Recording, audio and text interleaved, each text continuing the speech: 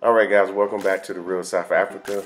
We have a special encore presentation of a video that Phil Scott from the African Diaspora News Channel did on his channel, and we wanted to bring it to you guys since we were the company who hosted him and his crew and his subscribers here in sunny South Africa. Check it out; it's pretty good.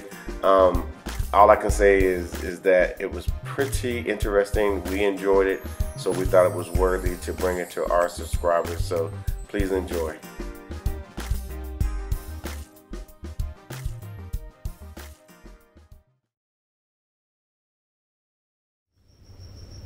Hello, everyone. This is uh, Mark Edward Blanton from The Real South Africa, as you guys probably already know. And thanks for watching this video. We hope that you subscribe and, of course, like our channel and just basically let everybody know because this is a grassroots movement. We're trying to get everybody involved, want everybody to know. And the best way to do this is that the algorithm sees that everyone likes our content and, of course, our channel. And, of course, if you haven't subscribed, go ahead and hit that button now so you can go ahead and subscribe to our channel. Now, as you guys already know, we are a luxury travel and tourism um, brand based here in Johannesburg, South Africa, uh, which has been a, a, great situation for most people because they had the opportunity to come here, have everything sorted for those guys. They actually had a good time. They're actually like, wow, we, we over delivered in, in some ways and so forth, which leads me to my next topic. As you guys already know, for a couple years now, we was trying to get the African Diaspora News Channel here to South Africa, obviously for a tour, and they brought everybody um, with them, uh, which was great. We took care of all of the accommodations, all of the transportation, and so forth. So we really appreciate the fact that the African Diaspora News Channel chose the Real South Africa to take care of this monumental task for them. Um, it was actually their first time coming to South Africa, and so we wanted to make sure that we um, took care of them properly, make sure they saw all the stuff they needed to see, and so forth. So again, shout out to the African Diaspora News Channel for selecting the Real South Africa, um, and of course, you know we took care of their people while they were here, and uh, it was it was just a wonderful thing. And at some point, we will soon, obviously, we will put up some content that we have from that as well. Um, keep in mind, you can always go to the African Diaspora News channel and subscribe to that channel as well, because what we're going to do is do an encore presentation of a video that Phil Scott from the African Diaspora News channel posted to his channel, basically kind of going over his time here in South Africa. We liked it a lot for a lot of reasons because it covered a lot of topics um, that we have covered, but we kind of skimmed over it a little bit.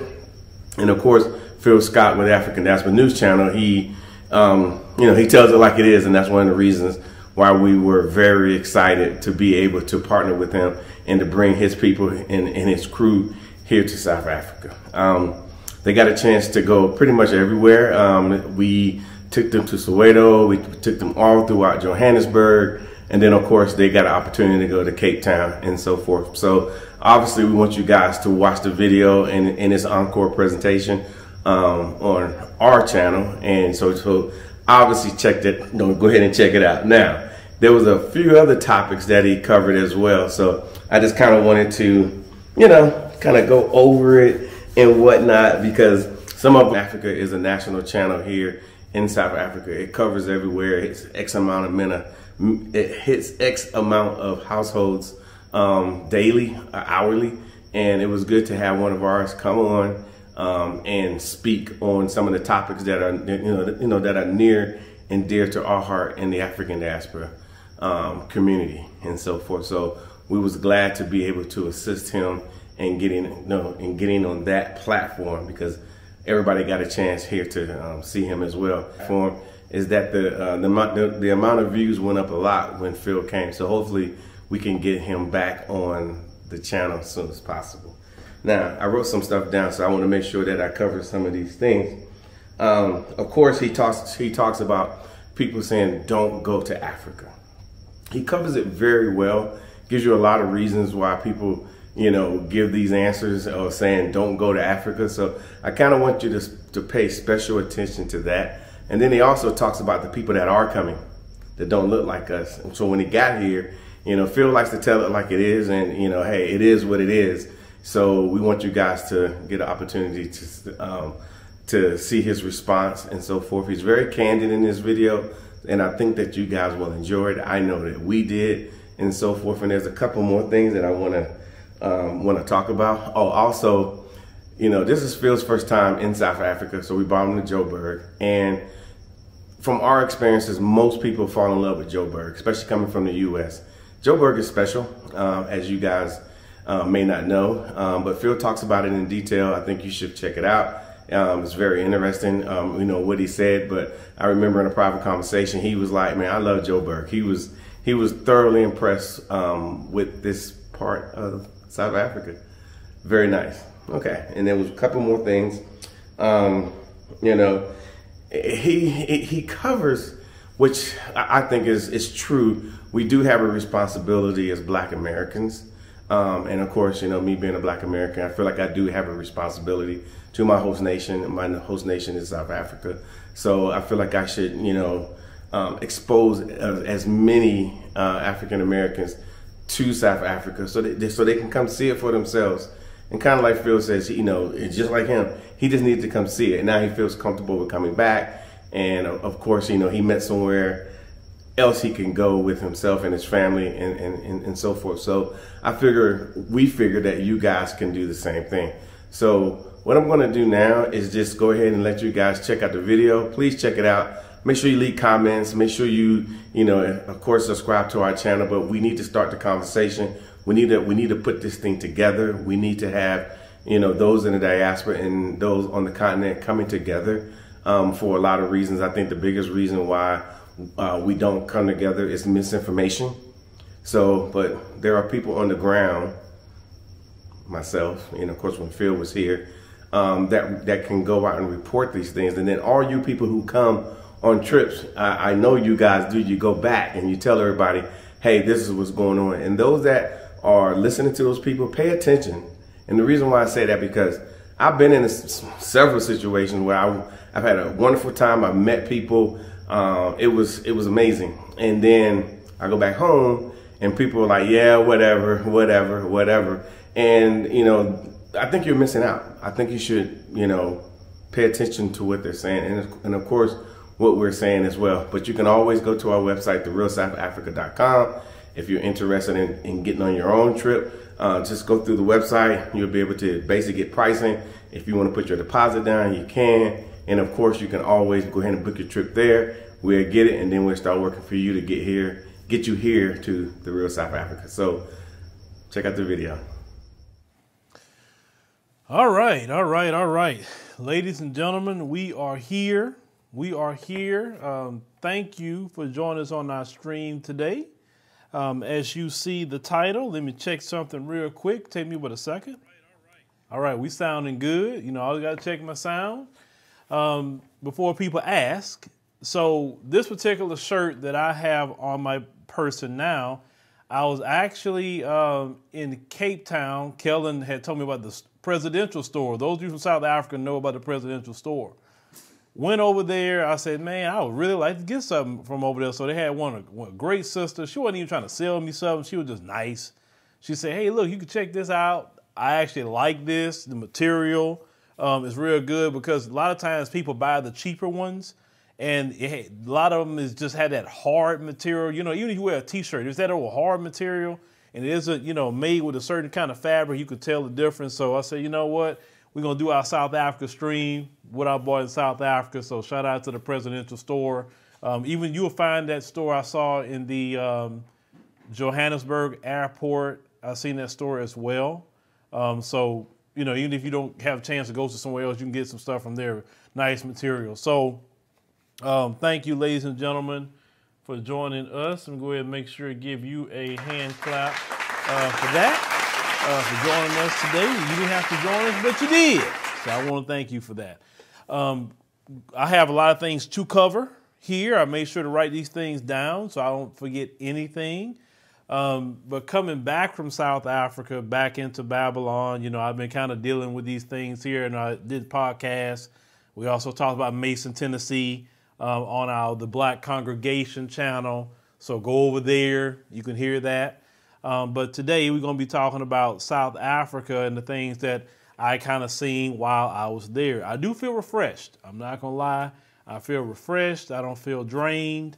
Um, I don't, you know, feel all the stress that that you know Babylon brings. And when I mean Babylon, I'm talking about the whole Western system. I'm not just talking about America, because even when I landed in Paris, France, people had the same look, the same mode. I know that look when you see it, that old down mode that I'm just so busy, I'm working so much, and I don't make enough money. It's just that mode. Even the same thing when I we had landed in Amsterdam, same thing. It's just the whole Western system. It's just so toxic. Uh, period. And I be honest with you, I, what I've noticed, it's toxic for everybody. Because you got white folks that look got the same look on their face too. But we want to definitely, you know, make sure before we get started, I got a list here I want to cover. So we want to thank, first of all, the Real South Africa, Mark and Dr. Latasha Blanton. Um, they had put together a good tour. Um, I was impressed with the accommodations. Um, I, I, was asking the subscribers when I was there about it. You know, they said that things were great, the accommodations were great, and like I told uh, Mark at the time, if I had a bunch of complaints that I feel was substantiated, it would be the last time. I told him that, and we didn't get that uh, whatsoever. So you know, shout out to them uh, for putting you know this tour together, for being professional with everything, and even how they took care of us. You know, with the accommodations. You know, I was there to work. I'm never a part. I'm never there to be a part of a tour. I'm just gonna be honest with you. I mean, I definitely would come in and say, "Hey, what's going on?" But I'm usually I'm having to do something. So when you see me and Sharif and Kellen rolling together, it's not to be vacationing, it's to get to work. So I did take care of a lot of work while I was there from sun up to sun down. I was working. I was tired. I'm telling you. I, that's why when y'all tell me about certain stories, I didn't have time to film anything. Maybe I could do a little live stream here and there, but I just did not have the time whatsoever. So definitely, definitely, once again, thank y'all um, for joining us for sure, and thank you to the Real South Africa. Now, uh, one thing, I don't know if you some of you saw it or not, but I purposely didn't post it to my channel as of yet. Um, I was actually on Newsroom Africa while I was out there, and I will show you uh, that was national TV in South Africa. Now, I've never really been on national TV in my own country, and for sure, I haven't had any black networks that would say, hey, let's put Brother Phil on to talk about a few things. You know, it's sad that you know, I had to go to South Africa to actually get some love like that. But in my own home country, you know, everybody say that I'm the type of toxic person they don't want to be around. I don't make massa happy. So, you know, but the Bible teaches a prophet is without honor is in, all, in his own hometown. So, hey, I would definitely take that love from South Africa, that appreciation from South Africa all day long. Uh, you know, I've seen some people say, man, Brother Phil look like he getting too comfortable out there. We may lose him. I was very comfortable. Um, I definitely want to thank the subscribers for sure for taking up the time and not listening to the naysayers. That could be maybe in your family, it could be friends, and people on social media is trying to tell you don't go to Africa. Why you want to go over there? And all them kind of people use it. They're not going to go nowhere, no way. So they don't want you to go nowhere either. They secretly don't want you to go away from them because they're afraid that you may leave them behind and they be stuck in a situation you're not here with them. Because if they really didn't care about quote unquote Africa like that, why are you always coming to conversations that has to do with Africa? Why? You don't believe in that and you believe that everything you want to do here is in America, well, why are you in the conversation? I, I don't understand that. I don't go in conversations where I feel like I'm not invested into or I don't want to be a part of. I'm not going to leave comments to people about why you want to do this. Hey, I don't want to do that. Okay, that's you, brother. That's you, sister. Do you. But I know you haven't been because the way you're talking. That's how I know. Um, you listening to the white propaganda about the African continent. I know that based off some things that are being said, right? I know. So I feel that my job is to get you there, not to tell you do nothing else but just go one time and I believe you will make your own decision, right? So I talk to the subscribers and I ask them, What do you think about it? You know, is this a place you want to come back to? And all of them that I talked to said that they want to come back. They couldn't get enough of it. They was happy. It was peaceful. It was great to see majority black people. That was great. Definitely in Johannesburg. Like, listen, shout out to Johannesburg. I fell in love with Johannesburg. Oh man, it was just so many different things in Johannesburg that I saw. They'll be good just for my me personally, my family, and also me and my wife's businesses. I, it's just like it would easily for us to get plugged in there. So I just fell in love with it. That, that's for sure. Um, you know, we also went to Cape Town as well. Uh, let me see, get you some pictures here. I want to show y'all uh, while we up on the screen here. Where we at? Where we at? Where we at? Um, let's see, Cape Town. Yes, you know, I, I was in Cape Town here. Uh, you know, your brother taking the pic, taking the picture out there in Cape Town. That that was very nice, and I, will get I'll get to that. Uh, while I was in Cape Town, I went to a convenience store, and I think if y'all follow me on Instagram, y'all probably know this when I'm about to post here. I had some some chips called Spookies. Now, of course, some American folks like, what? That's something that name Spookies. I found out that's something that's over there. They they grew up eating that. I was told that well, that's a poor man's chip. I say, shoot, well that's the chip I need. Man, these, I look, I ate these Spookies.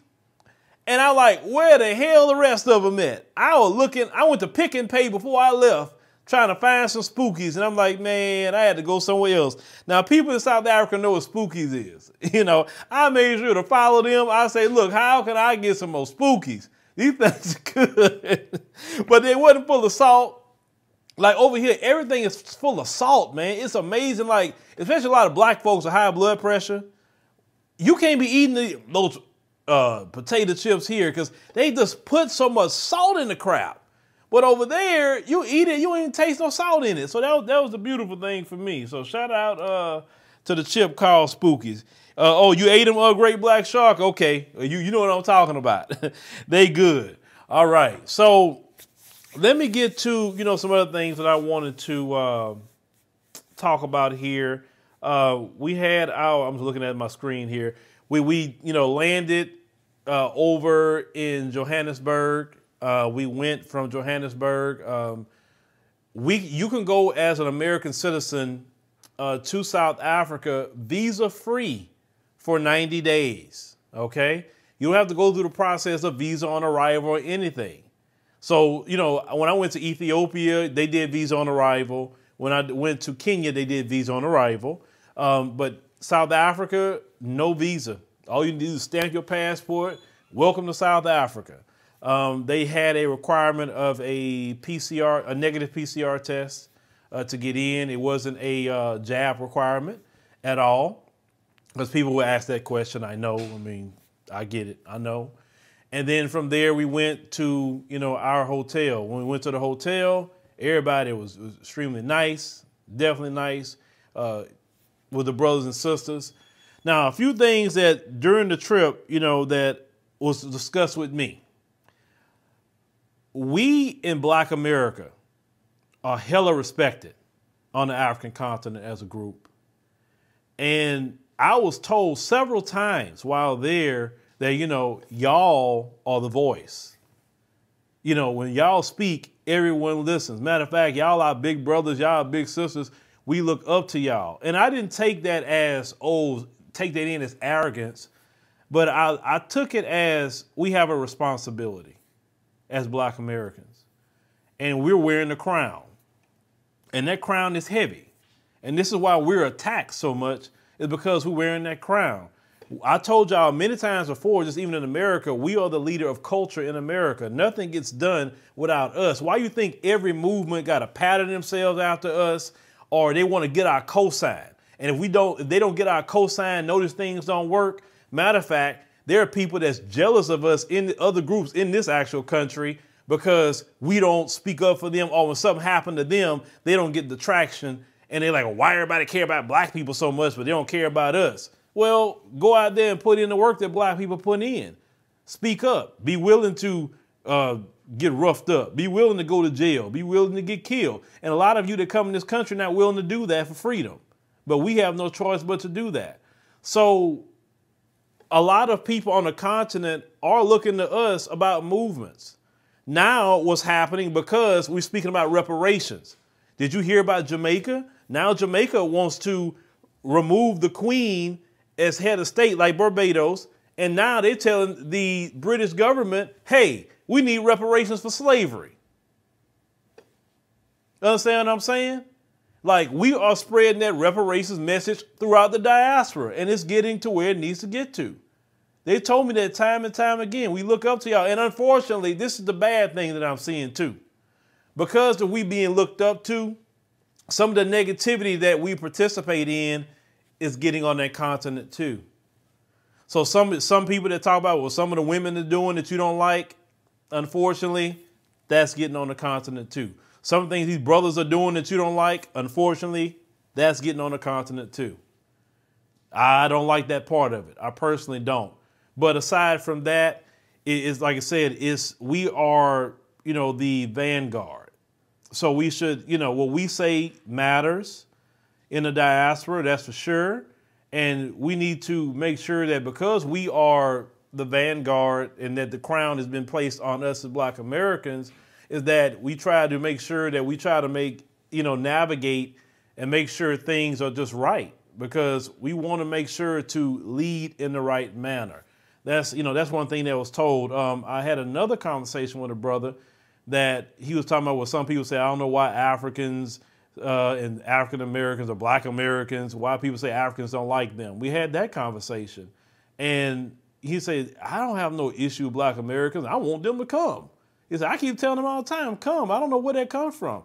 And I explained to the brother, it's not here on the continent, brother, the one I was talking to. I was saying that what it is, is that the white supremacist, his job and the way he runs his world is division. So he has to divide everybody, even the black world. So when he allows black immigrants to come over here, he wants to make sure, no matter where they come from, hey, don't go by them black Americans. Don't be like them. Because he don't want no black immigrant to come join us. Because that would be a problem from the rip for him, is that you have black immigrants come in and now they on code with us. So he's going to do everything he can to be the devil that he is. Oh, you're better than them. You're more educated. Oh, you don't you won't act like them. But when you do the research, the same things that's going on in Black America is going on in their homelands too. But the, but it's, the devil is is used to deceive, and as long as he can deceive our brothers and sisters that come in here to make them think a certain way, right? Now I was explaining that certain cultures is different. Black American culture is different than African culture, so that makes us all different, and there's nothing wrong with that. Like one sister that I was talking to, um, Sister Davina, and shout out to her. I did an interview with her. You'll probably see it later on uh, when the videos get edited. That, you know, in some African cultures, when dad gets home, what he was explaining to me, kids aren't supposed to bother the dad whatsoever. Food is supposed to be on the table. Understand what I'm saying? Um, men are supposed to be doing a whole lot of things. Now, in black American culture, you know, men can come home from work and say, hey, kids, or whatever. Some men, you know, like to cook, barbecue, whatever. Well, in some cultures, they look at that as what the hell men cooking for? Men are supposed to cook. Men supposed to be served all the time. Now some brothers probably be in the chat like, yeah, that's perfect, you know, or whatever. But you know, way we was raised, we all, you know, if men want to cook, they can. But so some people believe that, well, I don't want my son to be acting like that, thinking that's so. But, but you know, that's cultural. That's what they want to do. Beyond with you, a lot of young people on the continent is kind of tired of that old school culture deal, just from what I'm seeing. They want to be in the 21st century, and because of some of that, it, it is the negative side of it is, you know, some people still want to be on the slapper hole tribe. Then they can slap up a woman, beat up a woman, whatever. In our community, we know that's just a no-no. And if you touch one of ours in our family, you, we got to handle that. It don't matter you providing anything. You don't supposed to put your hands on no woman, bruh. It just no. That's listen. I have I have in my life have never put my hands on any woman I've ever dealt with because I understand men's power is just to walk away and say, look, I'm not dealing with you. I, am just gonna leave. I ain't gotta hit you. Even with your children, you don't even have to hit your children like that. If you're a man that walks in your masculinity and walks in that power, they'll respect your word. And if you got a woman that's just yeah, yeah, yeah, yeah, yeah, all the time, then you need to assess that situation. Say, I don't need to be with you because you're not on this program that I'm on to try to build something. All you're gonna do is tear it up. But you don't have to put a hand on women. Like I seen a, a big sign they had all over South Africa talking about, you know, ending gender-based violence, and he was talking about basically the domestic violence thing. Now I spoke to one brother that was a police officer, and he said, "Oh yeah, it, it's going on, but you know, some of the women, you know, maybe just drop the charges or whatever." So I'm never gonna be cool with beating on no women. That's not cool. I got daughters. I wouldn't want not a damn man to put his hand on my daughters. I got a sister. You know, I got a mom. I got, you know, a bunch of family, right? I wouldn't want nobody to put their hands on any of my family members. So if you are a type of dude that's doing that, stop.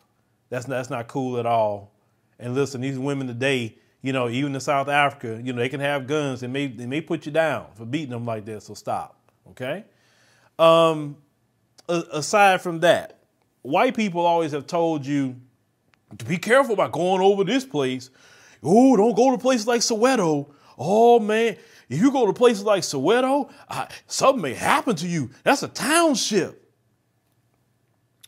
Guess what I saw when I was in Soweto? Guess who I saw in Soweto? The ones that told y'all it's so dangerous. Be careful in there. I seen white people. I seen white people walking around having a good time. I seen white people on their bikes riding all in Soweto.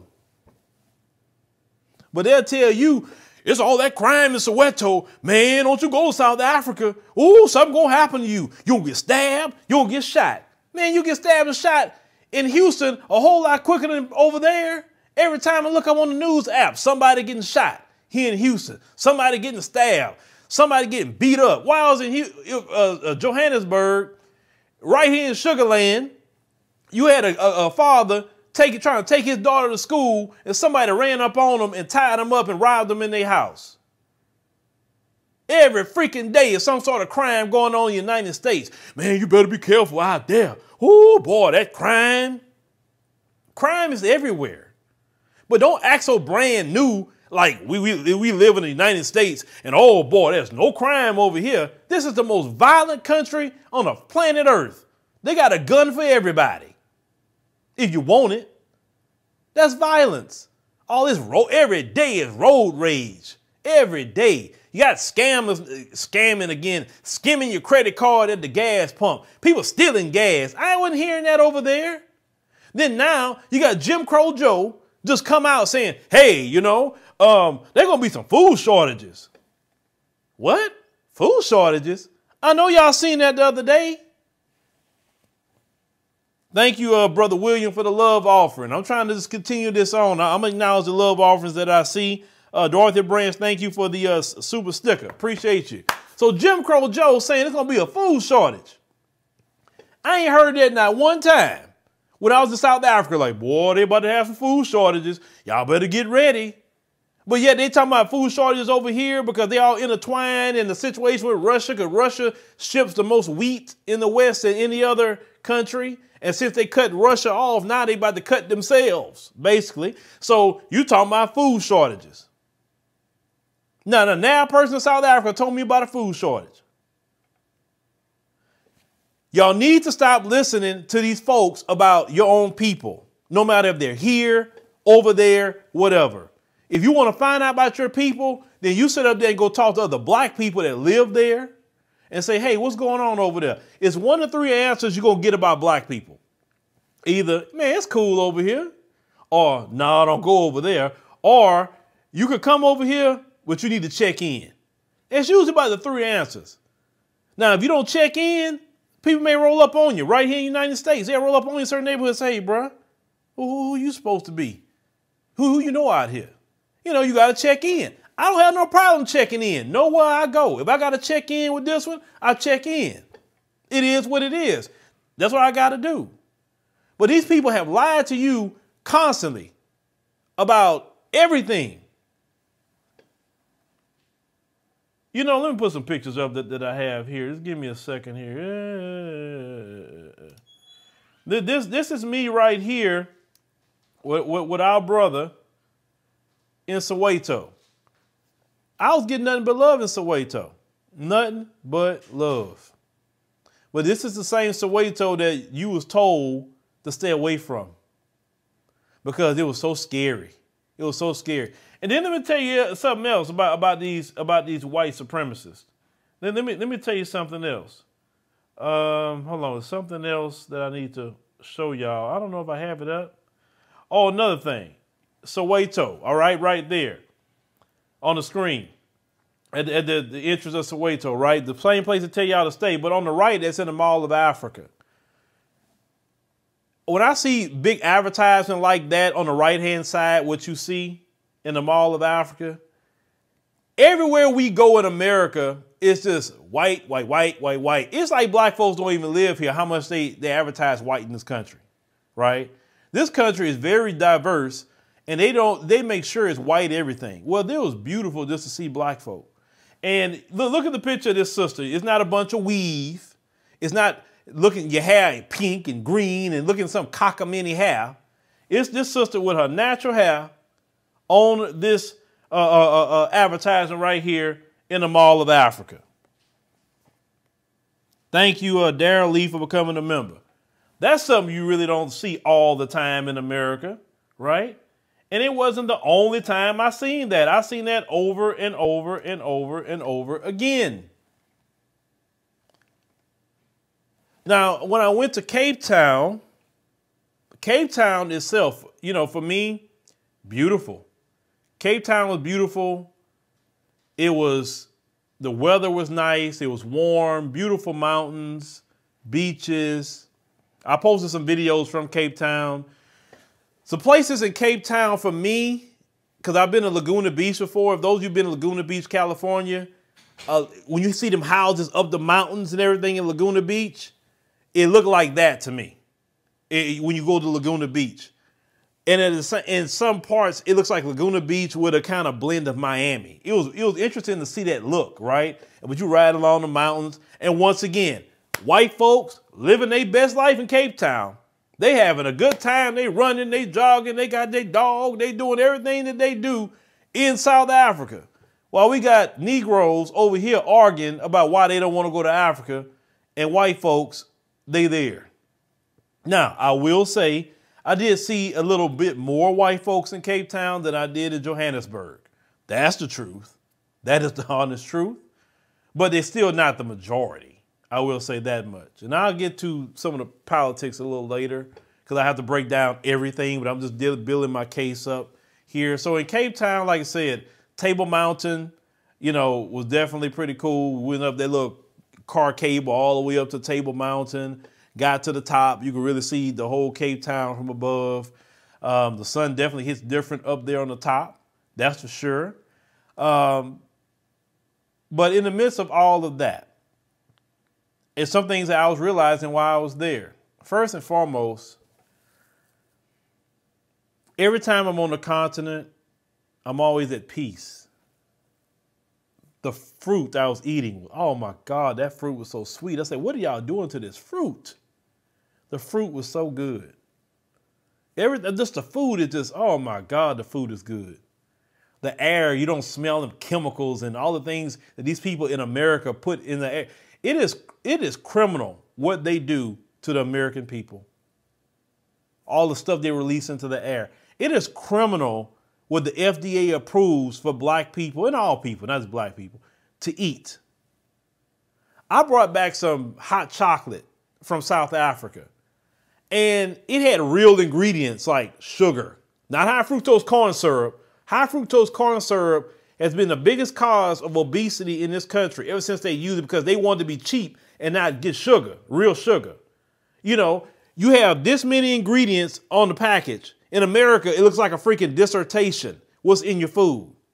And you wonder why everybody's getting sick with heart disease and diabetes and cancer and all that. It's the freaking food. They're feeding us crap.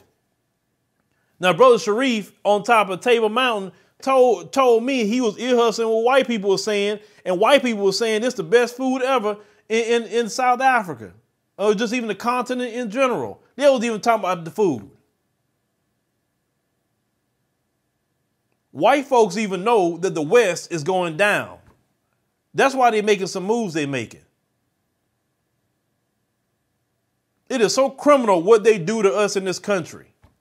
They put the worst of the worst in your food, get you sick, then you go to the pharmaceutical companies, get their quote unquote medicines to heal you, and it don't heal you. It just stabilizes you. Then Pfizer, what that company, just come out saying, oh, well, some of our blood pressure medication is causing cancer. Well, if you wouldn't put all the freaking salt in people's food, you're supposed to be putting that much salt in nobody's food. Maybe people wouldn't have their high blood pressure spiking up so high constantly. And then you're using table salt, the worst salt ever, when you're supposed to be using sea salt. When I did the research, look at the look at the cancer rates in the West. Then look at the cancer rate on the African continent. Look at the obesity rate. Look at everything that we deal with here in America in the area about health, then go research it on the continent. Do it yourself. You're going to see, wow, they don't have those health issues as much as we do here, or in the volume that we have. Let me say the volume that we have. But they're supposed to be third world, right? How is it that we're more, we were sicker here, but they're third world? According to what these white supremacists like to say. The accommodations that we stayed at. Great service. Great service. I can't complain about the service. Brothers and sisters were smiling, you know, uh, uh, talking to you. Hey, man, where you from? And they just get, you know, talking to you. Man, you tell them where you're from. Oh, yeah, I'm from Houston. Oh, man, you know, they start having conversation with you. They love to talk with you. I keep telling y'all, go see it yourself. Go to an African country yourself. Now, I said this in the live stream when I made in Johannesburg. I will say this and I will continue to say this because I know my people. I believe South Africa would be the best country for all black Americans to visit first. The reason why some people don't do well with a big culture shock. Now, I had some people say, well, shoot, you know, if you don't want culture shock, you listen, you go do what you gotta do. I just know the majority of my people, they don't even leave their neighborhood, a lot of them. They don't leave their state. Then you tell them to go to a whole country and just have a big thing. Listen, I dealt with culture shock in Ethiopia. And it took me like a Kellen had to calm me down a little bit because I was tripping out about how they move. I said, man, look, why they move like they, they don't, they so slow. They, did you know, I was just like, what's going on? We set a time and I expect things done a certain time. He said, you got to calm down. This is not America. Now, some people wouldn't like it that much and say, I don't want to come back. But it, but once I got over that, it was a great experience in Ethiopia. But South Africa, for me, soon as I got there, got on the road, not to say I'm a big proponent of McDonald's, I don't like that place. But you see McDonald's, you see KFC, you see things that you normally see. You see the, the infrastructure is no different than your American cities. You know, you could easily get plugged in. You know, when I ask about even people that want to rent an apartment, you know, in West Africa for sure, the people want one year's rent. Now, a lot of Americans just don't have one year's rent. They can save the money, but they don't have it. In South Africa, when I spoke to Sister Asha, and shout, shout out to her, you pay your deposit, you pay your monthly payment. No different than here. Non citizens could have bank accounts in South Africa. You can work to get your residency, you can work to get a citizenship. If you're bringing business into South Africa, now some of you sisters, let me think about you.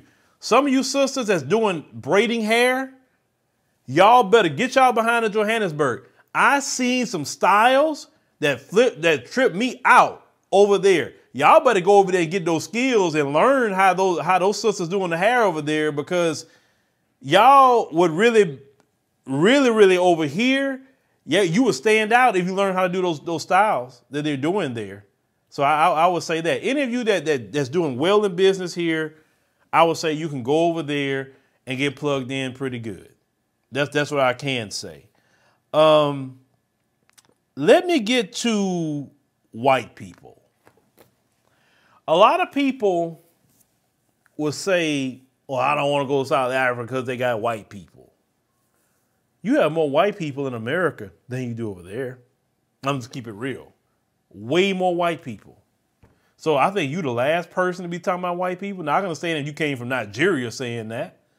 I would get it. But living here, everything is white, white, white, white, white. Your teacher white, the police white, the judge, the DA white. Nine times out of ten, the president, well, all the presidents been white minus one. Senate is mostly white. Uh, the House of Representatives white. Supreme Court mostly white. Everything that's controlling it, the bankers are white. Everybody white. So why are you saying that? When black people are the majority. So I, I don't know why you say. I think that's just really a BS excuse. It's an excuse you're telling yourself. But white people, I'm telling y'all, they coming. They're coming, they're coming, they're coming. And while y'all arguing with each other about not going to the African continent, they're coming to rent those apartments. They're coming to open businesses. They're touring, vacationing. I went to a restaurant called Gold in Cape Town, South Africa. That restaurant, the concept of that restaurant was, was pretty awesome. They gave you a 14 course meal of different foods from you know different African uh, cultures, and they gave you dessert and everything at the end, where it's like a live show that you get while you're there. Now I want to play a quick clip of kind of like what you will see while you're there.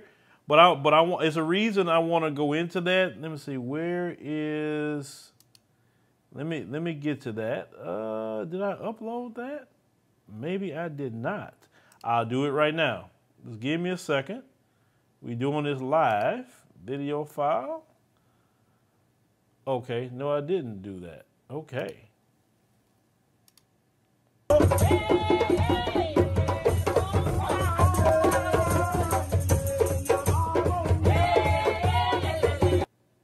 All right, let me start it off from the beginning. So this this is I was sitting there in this restaurant called Gold, very very nice place, and they have live performances. So I want you to kind of see it.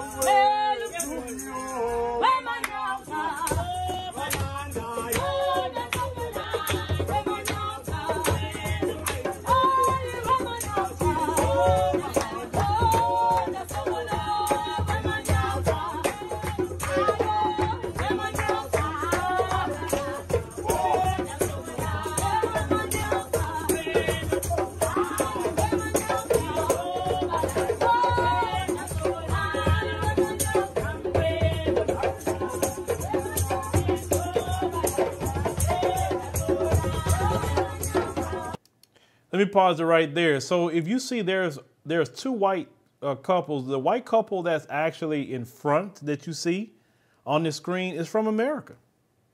The moment we walked in, they you know spoke they spoke and you say, oh, I know they were from America, so ask them where they were from, and that's that's a husband, that's a wife, and that's their son, right there, enjoying themselves in, in Africa. But yet you got black folks in social media arguing about they they don't want to go to Africa X Y Z. Okay, people was nice. Met another um, some other white people that was there. Uh, v Hannah, thank you. Say pretty being investor that you are. Many blessings. All right, appreciate you. There was many other white people uh, that was there. One said they was from Seattle, Washington. They was there for a wedding in Cape Town. Oh, they left way from Seattle to go over there to South Africa. But yet we're arguing saying I'm not African. Okay. All right. Well, white folks aren't African either. And yet they're going. So in that same gold restaurant, I start I start panning the room. I started panning the whole room. I said, let me let me really look and see who's in here. Because I kind of we kind of came before everybody, but we started to look at everybody that was in here. So let me let me get let me get is this a picture? Okay. This this this picture right here that, that's on my screen. That's me looking from the bottom. And you see, it's, it's all white people sitting there. So I'm, I'm sitting here thinking, as the black man I am, and I remember a sister I met from Atlanta. Uh, shout out to Sister Brittany from Atlanta if you watch this video, good sister. She said the same thing. Look who all on this plane. Look who all coming over here. And then people like me and you, we just kind of sprinkled in. What's up with that? They're over there enjoying themselves while we're not coming. Now, let me show y'all how they're really enjoying themselves. Give, give me a minute. Hold on. Let, let me, hold on. That's not what I need to do. Drop that. I want y'all to really see. Now, in that restaurant, they say if you want to go and have a good time with them, you want to dance and all of that, you can. I recorded it. I recorded it and I said, let me record this because I want to, when I go back to, to, to US, I want to show black folk this video that I'm about to show you. And I want you to see how many black folks outside of the workers do you spot in this video. Just give me a second. Let me, let me load this up.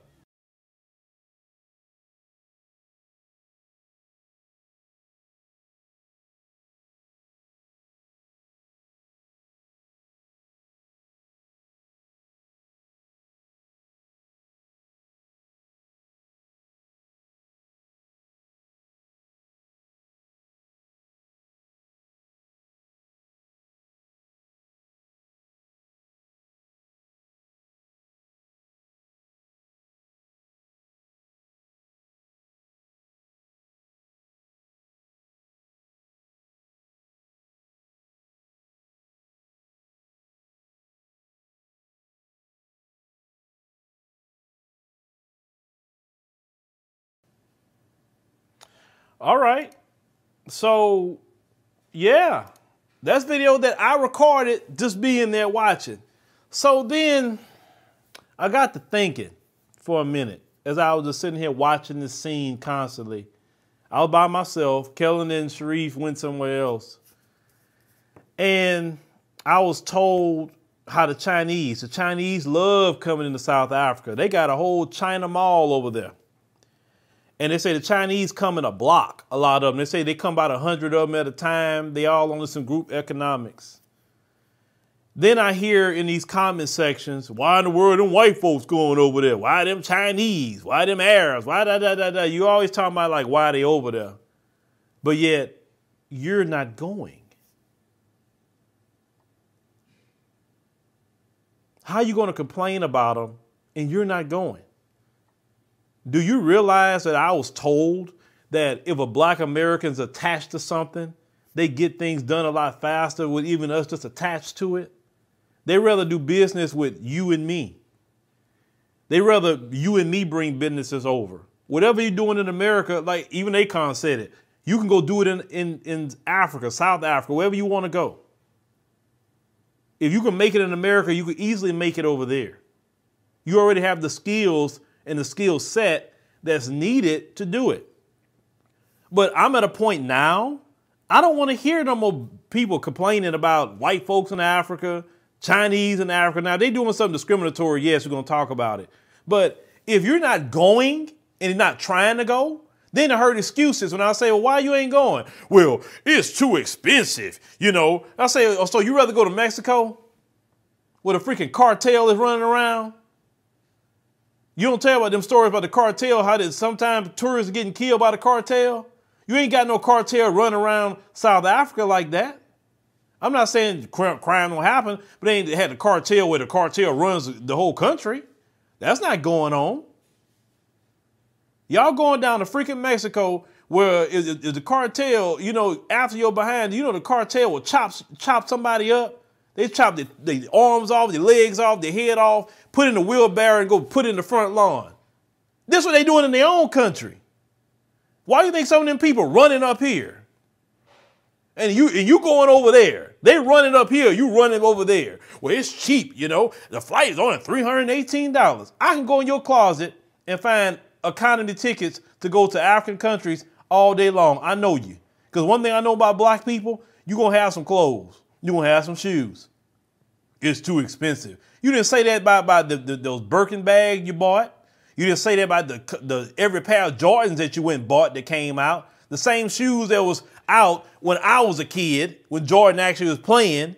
They just put new colors on them of the same shoes. And you and you got every pair but it's too expensive to go there. How, how is it that white folks from the U.S. they even go? White people got money. White folks ain't got. White folks living paycheck to paycheck too. The only thing that white folks got over you is social currency. And what I mean by social currency is the gift of whiteness in America. They live in paycheck to paycheck just like you, a lot of them. And they take their money and they want to go to South Africa, wherever they're choosing to go it is not a time for excuses anymore about the African continent. You can make excuses, but don't get mad when you finally decide to go and you got all these different groups of people buying up property, starting businesses, then you want to get mad why they over here. Well, and the question has been, why haven't you been coming over here? Why haven't you been saying, let me make my mark here? White folks know the West is going down. They know it. White folks is looking for a way out of the West too right now. They see it's going down. And then what they want to run to? They want to run into the continent of Africa. I'm in Johannesburg, and the driver is pointing out to me, "Hey, you see that right there in the distance? You see that how that dust, that uh, dirt is so yellow? That's gold that was in there. They still got gold in there right now. It's just not the highest quality gold, but if they want to get it, they can. What what hill we got in America right now that's yellow because it's full of gold?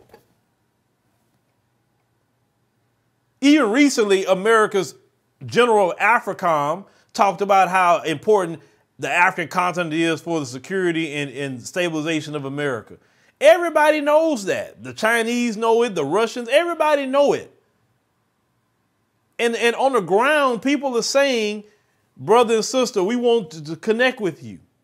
I understand we built America. Listen, we built the freaking world. We're indigenous to the planet. Every place on the earth we have been. But what I'm telling you from what I'm seeing is that you better get a stake in Africa and you better get one ASAP.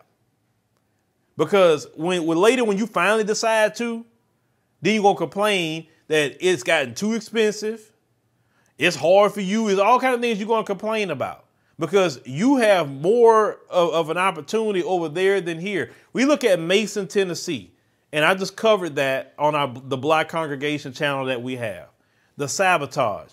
You're not going to be sabotaged over there when you're trying to build something. They want you to build something. They want you to provide jobs over there. They cool with that. In the in America, definitely in the West, these people will always seek to sabotage me and you. They they hate us. I don't know. it's no y'all tried everything you can for them to love you and it don't work. They hate me and you. And the the interesting part is they hate me and you, but they won't they don't want me and you connected over there. They want to enjoy Africa for themselves. That's what I got to see. This is why they tell you, one minute they're telling you well, go back to Africa. Now you're going, actually, you're going to Africa. Now they're trying to say it's not safe. It's not safe over there. Oh, it's not safe over there. You don't want to be there. And they tell you that while they get while they get on the plane and they flying they behind over there. The same place they told you is not safe. Johannesburg not safe. Woo, all that crime. Plane full of white folks going to Johannesburg. But I thought it wasn't safe.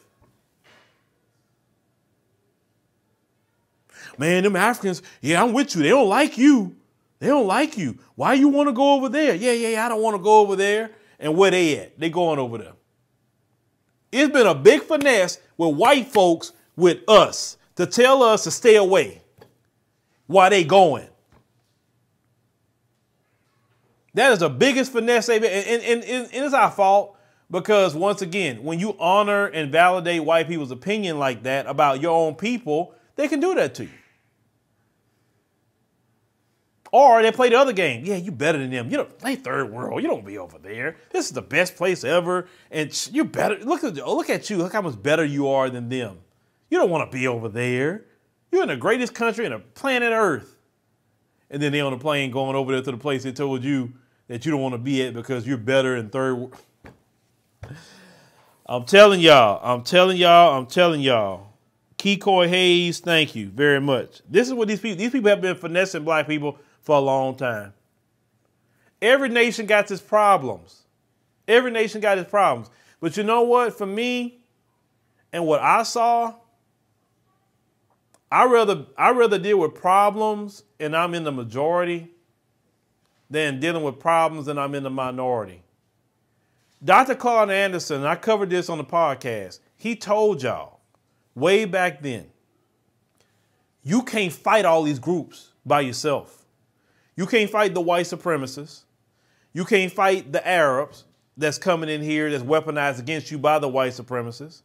You can't fight the Asians that's weaponized against you.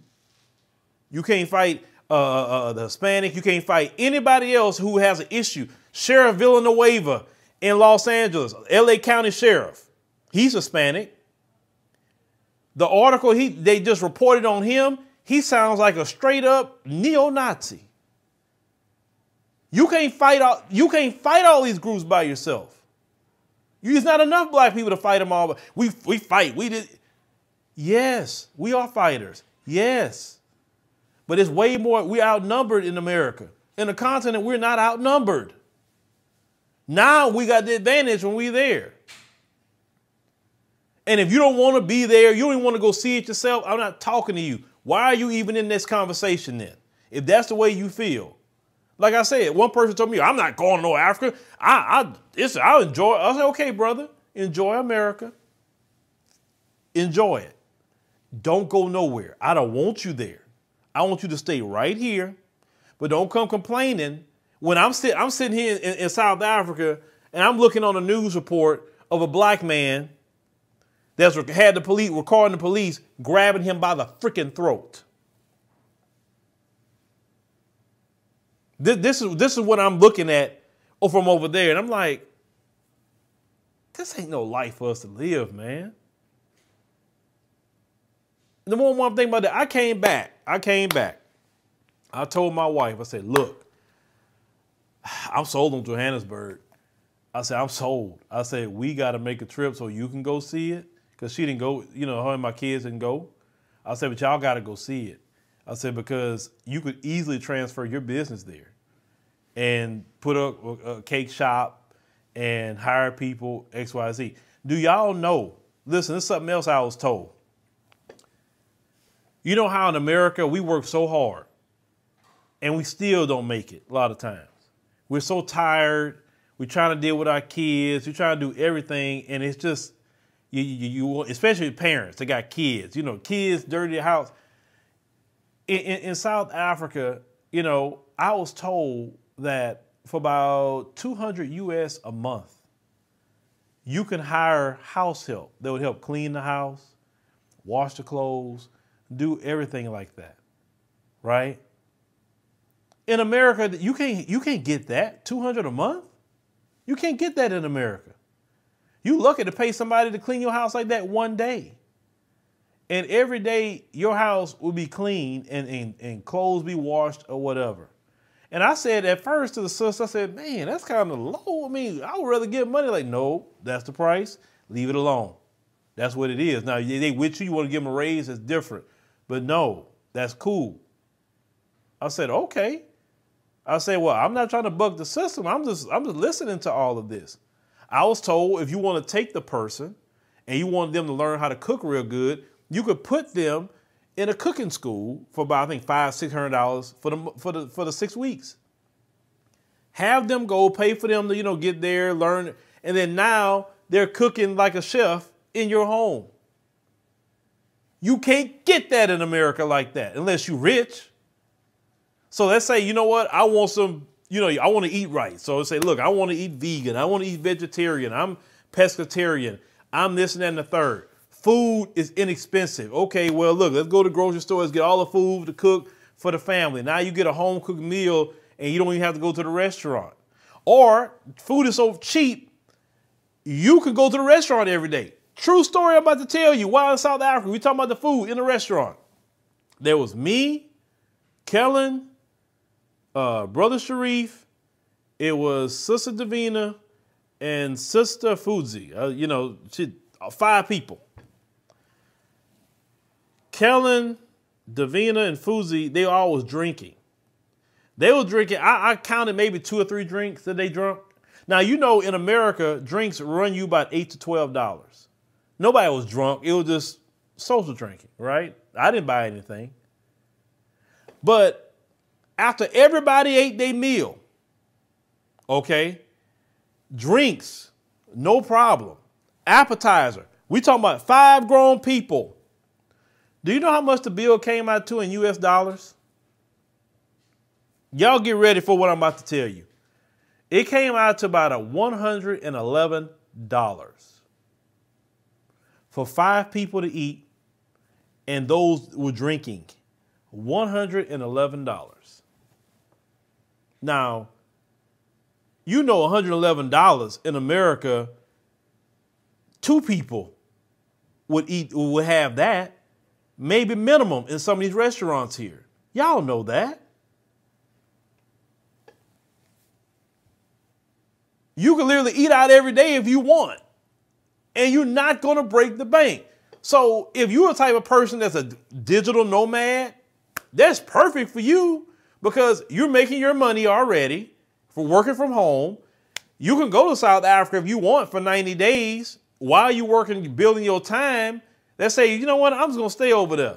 So then at the end of your 90 days, you leave the country for a day. Let's say you go to, oh, I wanna go to Botswana, I wanna go whatever, just see whatever for about a day or two. Come right back.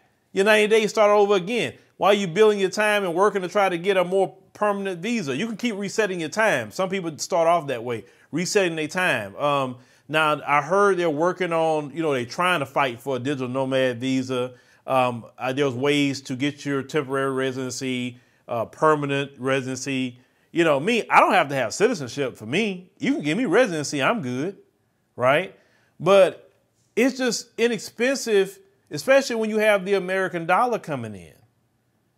We are literally, like I said, they are breaking a lot of Americans right now. Look at the freaking gas prices. Look at the food. Even if you cook at home, let's say you don't go out to no restaurants, the food prices have shot up. It's like for me, it's just a no brainer. Even when I went to Kenya, it was the same thing. Like the food prices is nowhere near the prices, Ethiopia even better, than it is here in the US. How are we so much better?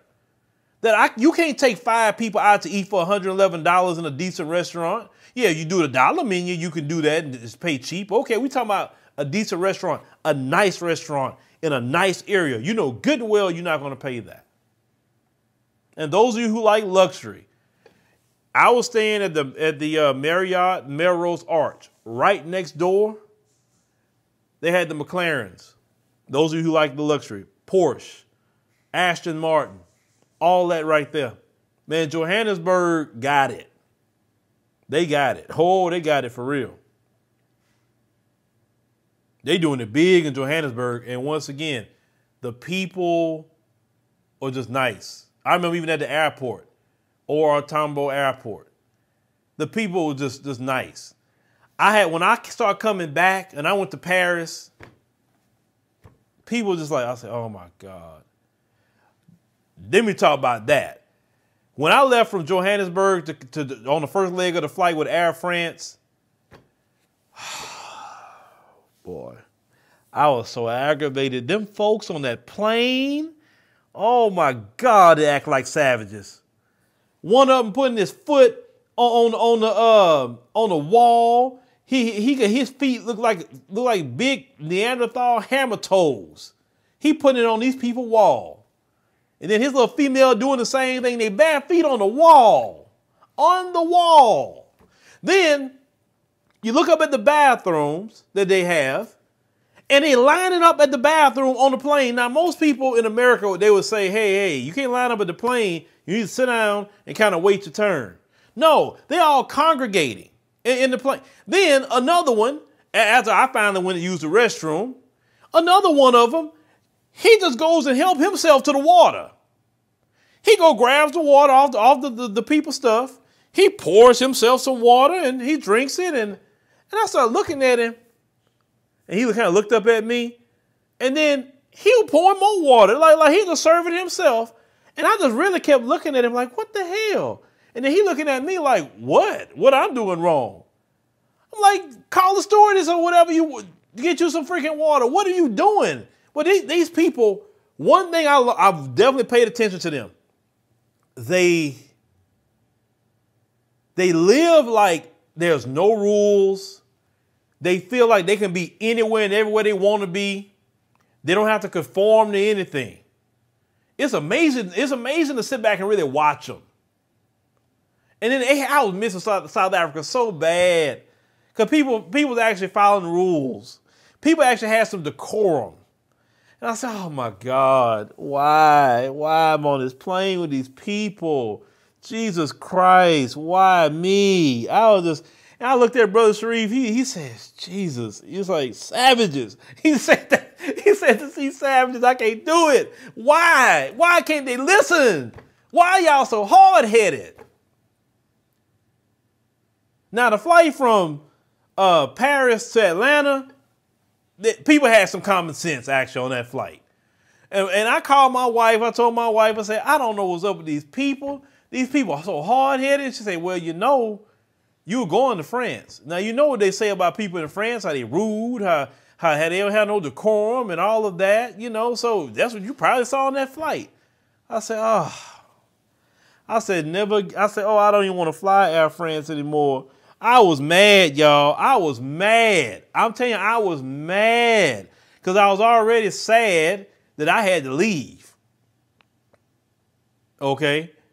And, and, and, and then I'm on a flight going back and I'm seeing, you know, just this, this crap. Uh, I tell you, I tell you. Oh, another story. Forgot to tell y'all about them not listening. So on top of Table Mountain, people taking pictures. There's this rock.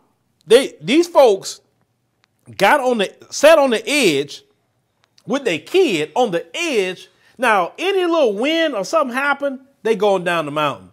Oh no, they sat almost at the edge of the mountain to take a picture with their child. I'm like, what the hell are they doing? They could fall and, and, and all three of them, the baby, everybody could die. But no, they just smiling like, I was like, these people don't listen. Why? I said, let them do them. Let them do them. I, I, I guess. I, I just I just kind of lose it sometimes when I see people just being rebellious. And they just have a habit of rebellion. They don't want to listen unless you really, really clamp down on them. And then they act like, why are you still treating me this way? You know, oh, I didn't see a dog everywhere. That's another thing, y'all. I didn't see a dog everywhere. I didn't see the, the, you know what I'm saying? The dog I saw outside somewhere where they belong, but I didn't see a dog everywhere. Holding the dog, doing this with the dog. I get back, we in Atlanta, the Delta Sky Club Lounge, B Concourse. You had one of them. Now, now, if you've been in there, they got all the food or whatever. One of them come in there holding the dog in their hand while they're sitting up here trying to serve themselves some food with the dog. And, and, and I'm like, I said, I'm back in America. Jesus Christ, I'm back in America. These dogs. The dog, it's a dog. Listen, I got a dog. I have a dog. I love my dog. I really do. But I don't bring my dog around food. Dogs drop hair. Dogs fart. Dogs do all kind of things. They dog could have a flea. Dog could have a tick. We don't know what a dog got. And so we talked to the sister about it, who, who's the supervisor. Shout out to the sister. And she said that, you know, if it's a service dog, there's nothing I can really do, even though they doing that. It's federal law. I said, really? He said, yeah, now some of them I check if they dog is service dogs. They get all kind of ways to get a service dog just to have the dog. I'm like, what the dog gonna do? Well, why are you holding the dog while you getting food? You couldn't put that dog on the ground at least with a leash. Karen, you gotta have the dog. What is the sick obsession with a dog? I don't want no dog in my bed. That's an animal. I don't want that dog sitting at the table with me. I don't want that dog being around where people got to eat. That's a dog. And I said, my God. I, I just like put my head down, people. I put my head down. Them and a dog. And then because they influence some of y'all, some of y'all black folk then got that way by the dog too. Some black folk had sense at one point in time. Now you don't have no sense about that dog. You acting the same way like Karen and Brad. Because you don't have your own mind. Your people always had a mind. That dog is a dog, and a dog stay in the dog place. Got the dog everywhere. Now y'all in South Africa don't you know don't don't let don't let them folks bring them dogs everywhere. Y'all seen them in, in the proper place where a dog belongs. I'm cool with, with dogs, you know, running with their owners outside, walking them. That's cool, you know. But having a dog all in no, no. I don't care how nice the dog is. It's still a dog. The dog pees and poops. That's a dog. It shouldn't be what people are eating. But they got the dog so entwined in federal law. Was the sister was telling me the dog is entwined in federal law. But we know in America, the dog got more rights than black folk. We know that in America. They love them dogs. Oh Lord, they love them dogs. Even in Ukraine, they, they them dogs was on some trains escaping, but, but black folk left behind. The dog. I say, what is it with y'all and that freaking dog?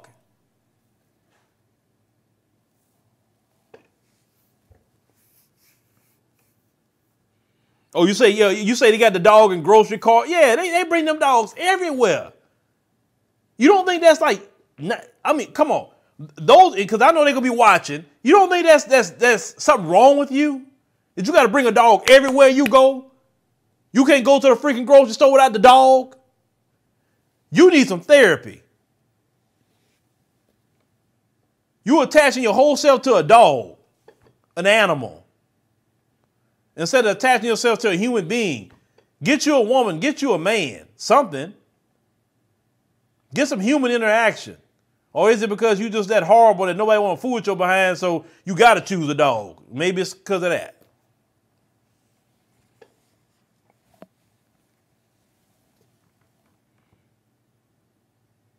But yeah, yeah, yeah, yeah. So, so you know, like I said, I just had to go on a tangent about the dog, ladies and gentlemen. I had to go on a tangent about the dog. Oh, them, them dogs, Lord, them dogs. They're obsessive with them dogs. But you know, in America, dogs are federally protected more than black people too. Because under Trump, he signed a federal law where if you abuse a dog, uh, you can get federal charges. But you can do something to black people.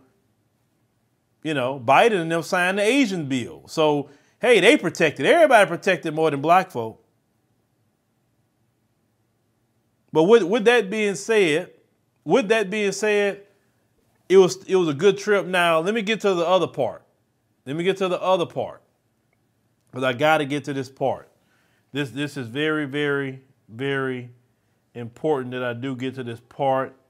Um let's talk about apartheid real quick. Apartheid was horrible. Apartheid mirrored the Jim Crow South. I mean, from when I looked into it, it mirrored it. Blacks, blacks, blacks. Let me tell you something. I think apartheid, in a way, was a little worse at, than Jim Crow.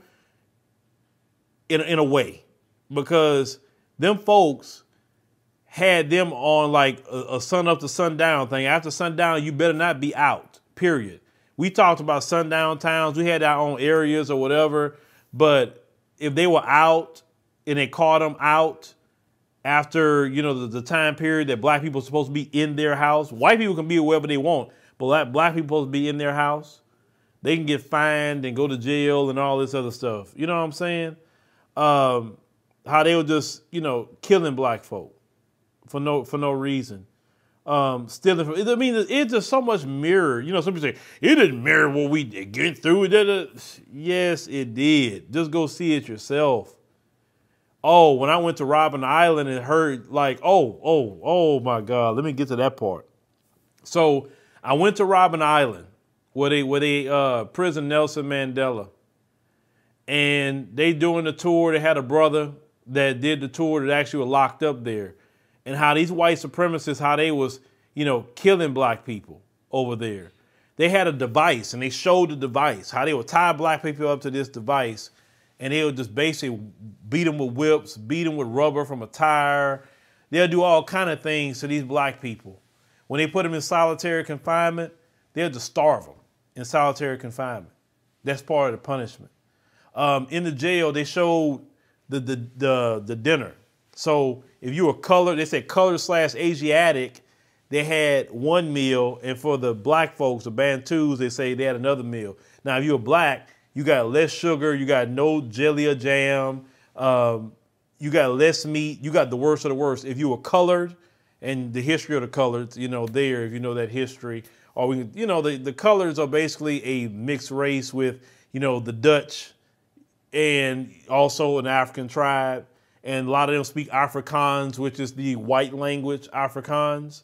Um, now, some of them say, "Hey, I'm black. I'm not no freaking colored." Some of them want to say they colored. In America, like I told one of them, you be called black. They ain't about to hear all that. You you colored, you this. White folks gonna let you know real quick. You come over here.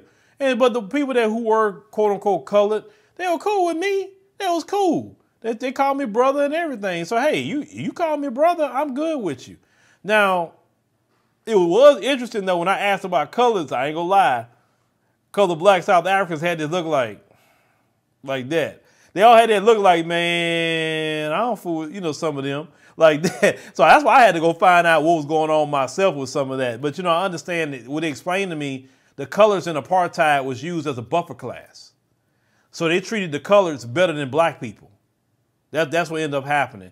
So after the apartheid was over with, and the colors lost that buffer class position, okay, black folks just didn't forget about that. But the colors is actually in a bad position. I mean, with poverty and it's a whole lot of things with the colors that that's kind of messed up, you know, with them, especially a lot of them in Cape Town. Um, you know, but yeah, yeah, yeah. It just it, for me, you know, I'm taking it all in.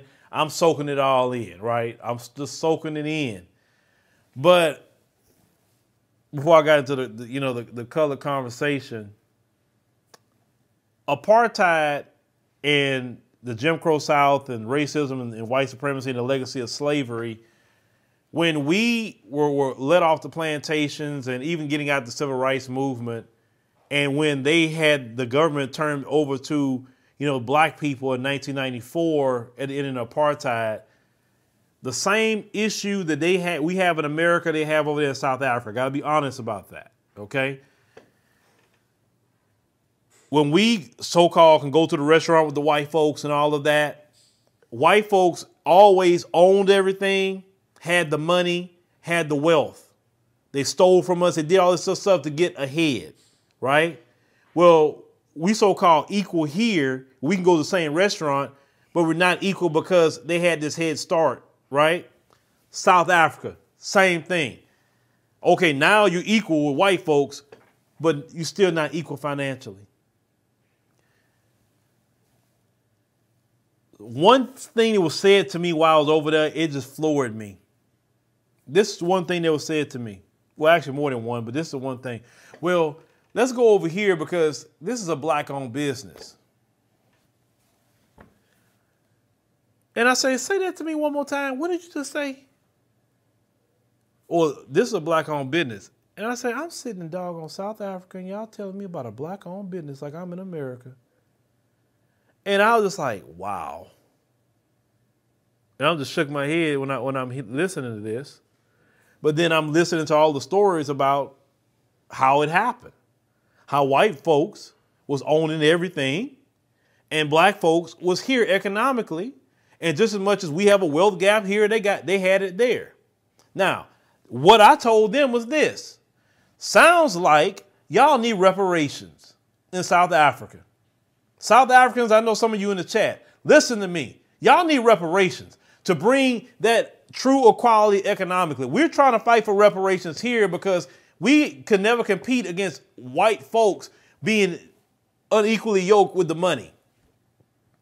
Y'all can get reparations a lot faster, in my opinion, than we can. Because we behind enemy lines. Black South Africans need reparations to heal the wounds that's still there of apartheid in South Africa.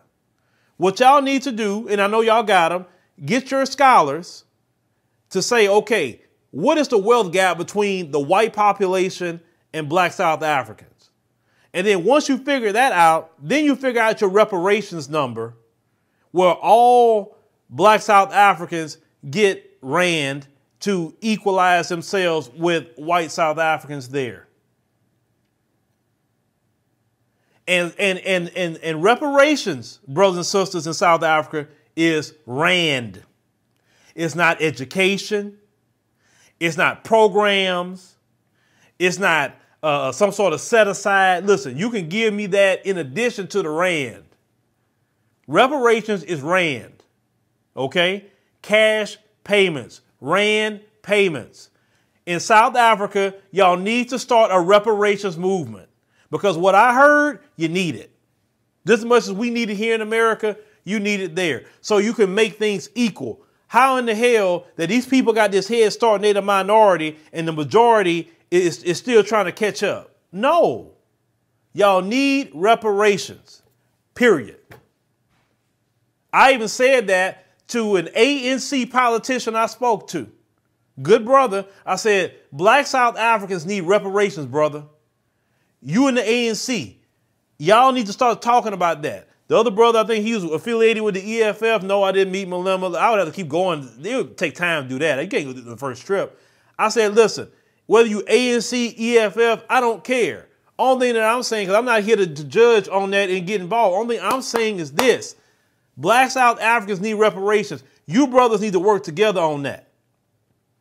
Y'all may have different ideas, but y'all need to come together as South, Black South Africans and say, listen, we may not agree on everything, but we do agree black people need to move up economically, and so you need a reparations movement.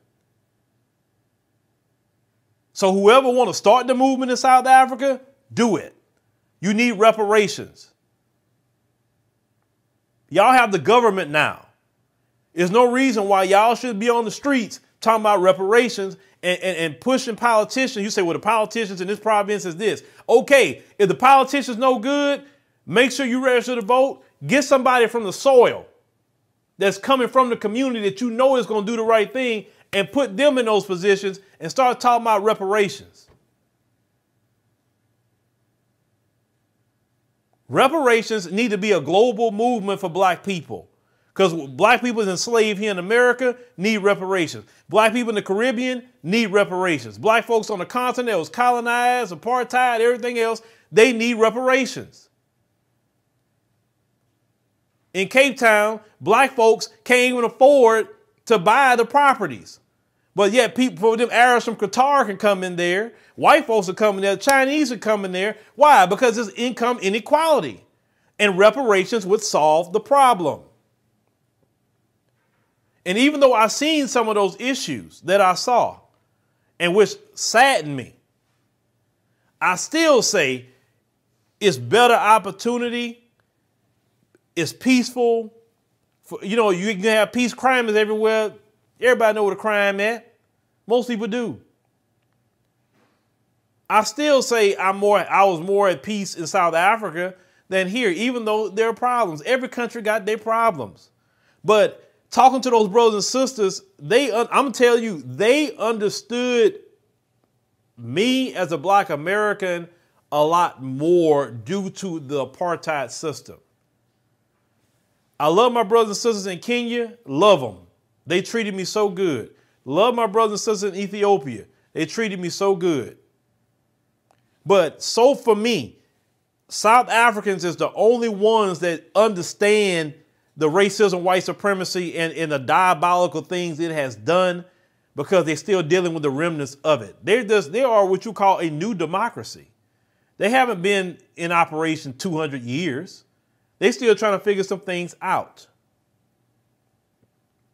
They're trying to figure some things out as, as a people.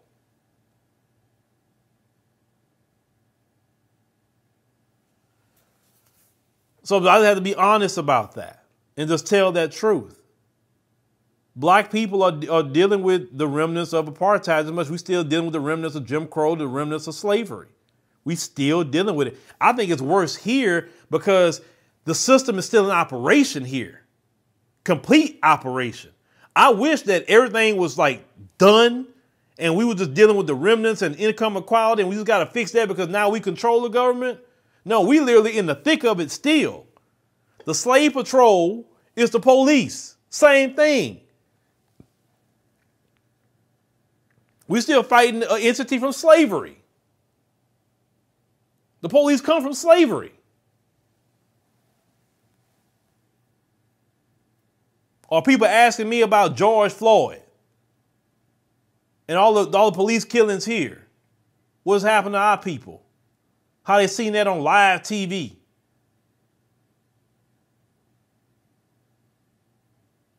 I tell my brothers and sisters in South Africa, you fight.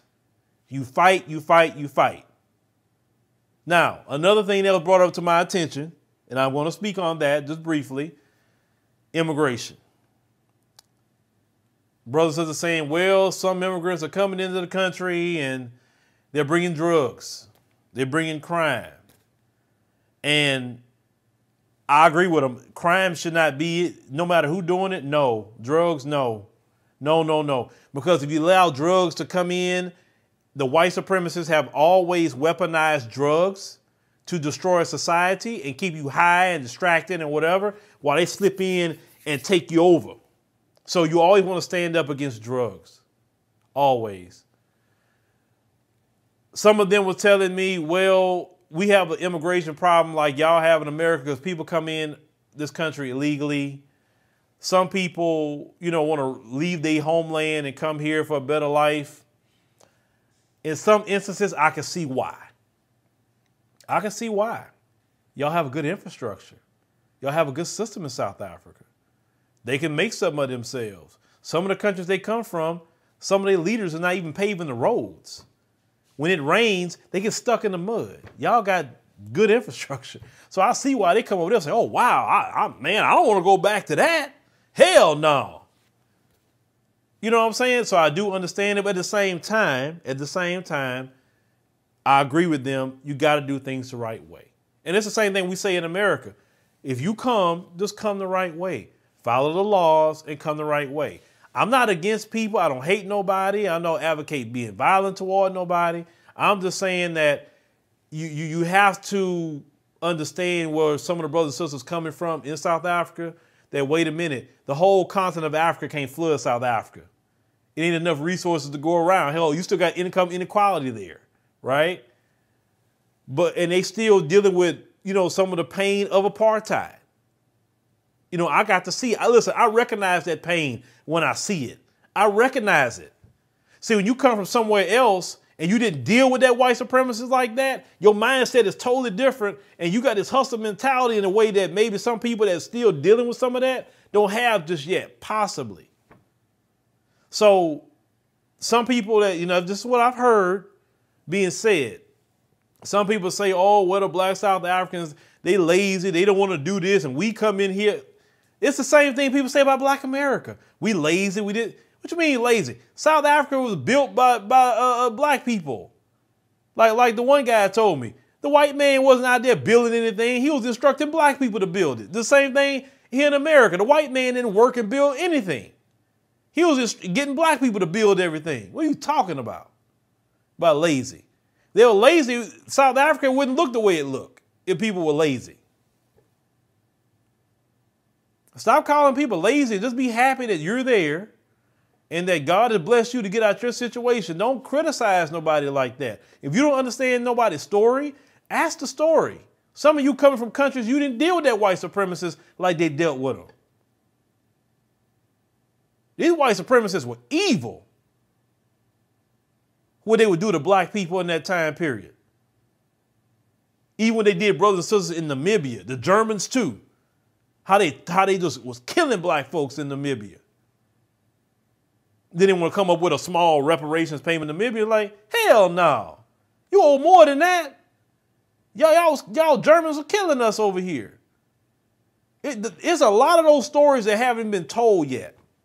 Another thing, I don't, and I had somebody tell me this. Why don't why you don't go show the, the, the, the townships? I do go to townships. I did go to one, for sure. Um, this what I will say. Y'all want to see, hold on, let me see something here. Y'all want to see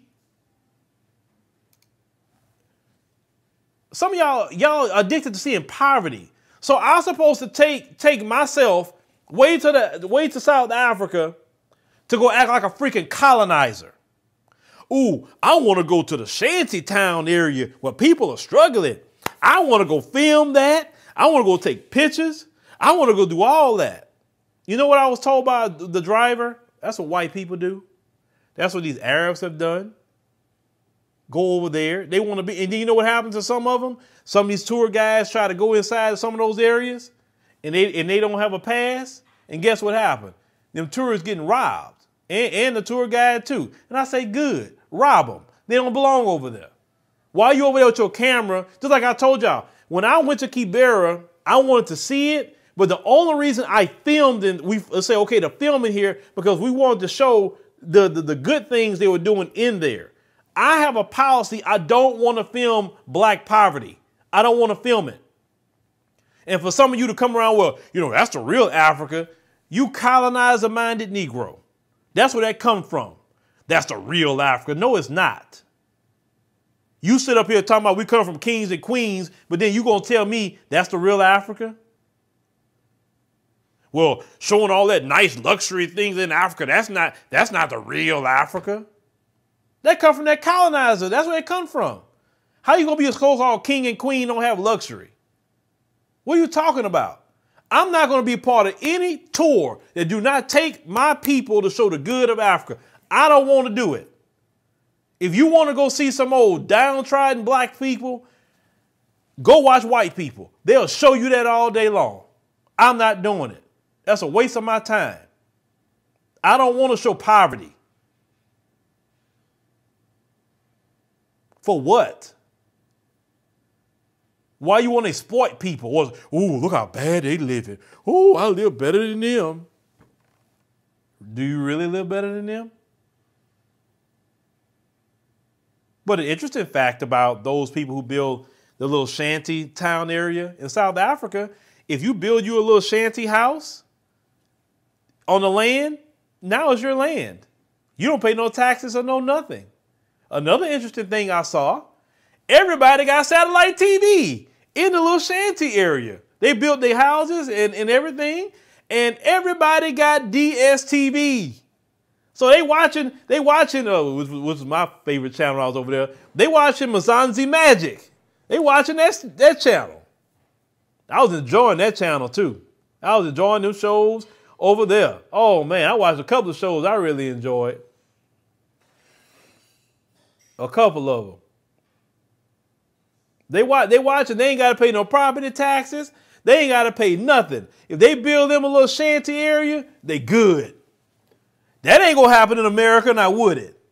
That's not happening in America at all. America won't the property tax. They want income tax. America won't go, even if you bought the land yourself, you still got to pay America tax. You don't own anything in America.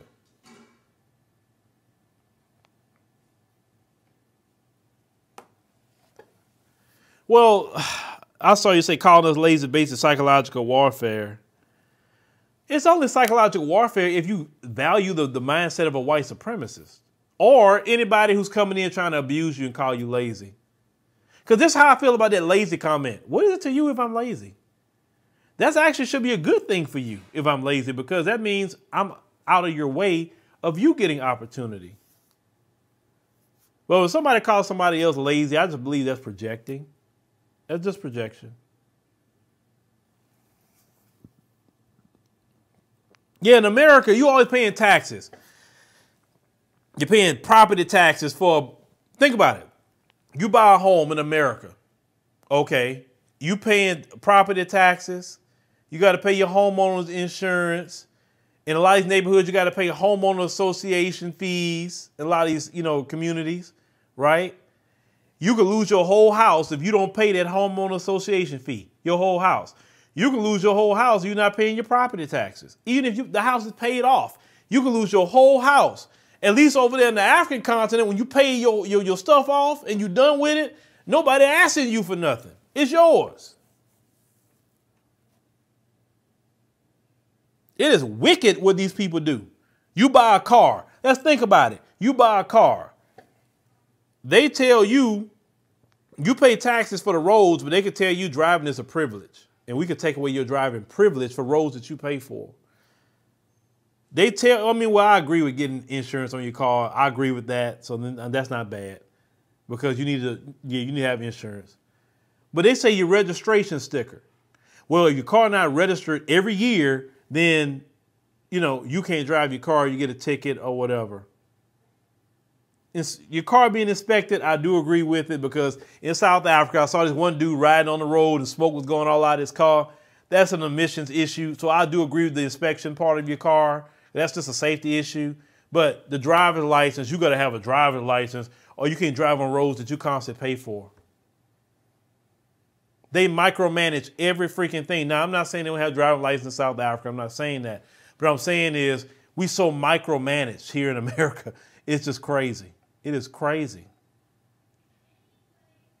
They operate on this oppressive slave driver mentality. That's how they operate because they know they don't know no other way to be. But with the you said, hold on, paying taxes, what and hounded for blood donations.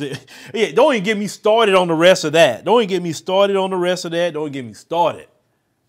Then South Africa has a good healthcare system too.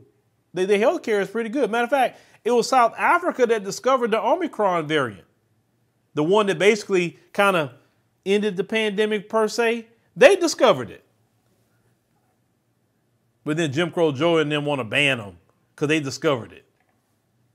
That was the one that everybody was catching. It wasn't as, as severe. And now people have herd immunity. They discovered it in South Africa. But you want to punish them for it because what? Y'all didn't discover it? But with that being said, I know ooh, I've been talking a little while. Definitely been talking a little while. But uh, thank you, ladies and gentlemen, for joining us on uh, the broadcast. We do have another tour coming up, um, actually in November for Kenya. Um, this will be with uh, World Views. Um, it, it, has been extended to, I think, 11, 12 days, more cities. Um, it's going to be pretty, it's going to be better. It'll be longer time in Nairobi, longer time on the beach and different things like that. Um, so you'll be seeing an ad about that. We'll get Kia to come back to discuss that, that tour. Um, you can uh, make a deposit on that tour. Uh, we kind of been posting it a little bit on our social media. Uh, I'll make sure to kind of start putting that in the pinned comment. Uh, if you want to go on the Kenya tour in November, um, think about that. Uh, now, I don't want people saying, "Oh, well, I think isn't that around the time of Thanksgiving?" Do you say Thanksgiving to me? Of all things to say to me, Thanksgiving. Y'all need to go. Come. I'll say come one time. Whether it's South Africa, Kenya, whatever. Come one time. Come. At least go yourself, see it yourself. Some people's introduction to the continent was Kenya. Mine was Ethiopia. But come. Come on this tour. Some people tell me I like to go to continent, but I don't want to go by myself. I don't know, you know. Okay, well, you come with a group of people that's from the channel. You know, I even had a sister that came from the UK. So those of you in the UK, you can be a part of this too. Those of you in Canada, anywhere that you watch my programming, you can come. It's not just for US people. You in the Caribbean, no matter where you at watching, you can come. Even if you're in another African country, you can come everybody uh, definitely is welcome to come. Only thing I say is just bring a great spirit, a great attitude, you know, and um, you know enjoy yourself. You know, let go of, of, of America while you're there, and you'll discover some things about yourself, and you'll be eating some good food. Because trust me, Kenya got good food too. Oh yes, they do. They got some great food, and um, we definitely would like y'all to come on that, that next tour coming up. So we'll post a link to that. But ladies and gentlemen, thank you once again, once again, joining us. Um, I know I'm still jet lagged because I woke up at 2 a.m. and I've been up since 2 a.m. So I know I'm gonna get sleepy here in a few hours. That's the bad part about being jet lagged because they was like seven hours ahead. So uh, but that's all right. That, that, that's part of it, right? That's part of it. Maybe well, the Lord bless. Well, it is going to happen that that like that. I'm not going to be jet lagged because you know when I transfer locations, right? So that that's definitely in my plans for sure.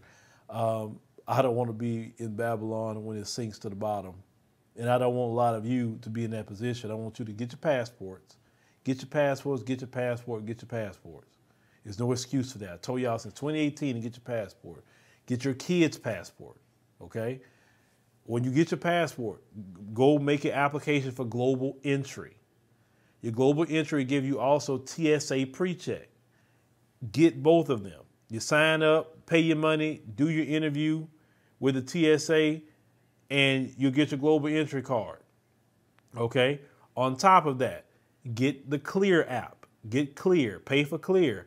When you fly domestic or even international, when it's def- definitely domestic, you go to the clear, they take you all the way up to the front of the line, and you go through the TSA uh, pre-check at the front of the line. Don't matter what time you got to the airport, you go to the front. Beautiful thing to have. Please have that. Please have it. I'm um, just trying to give y'all some just a few tips on, on, things to travel. Okay. So, like I said, we'll put the link for uh, Kenya in the pinned comment after this sign up, you know, for this particular tour. Um, put your deposit down. You got plenty of time for that. It'll be in November, so you can put the deposit and pay your payments. It's plenty of time, okay? So, you know, thank you for listening, ladies and gentlemen, and see you on the next one. Thank you so much for spending time with us today. If you like what you saw, please subscribe and don't forget to hit the notifications button so you don't miss out on all things The Real South Africa. Thanks again.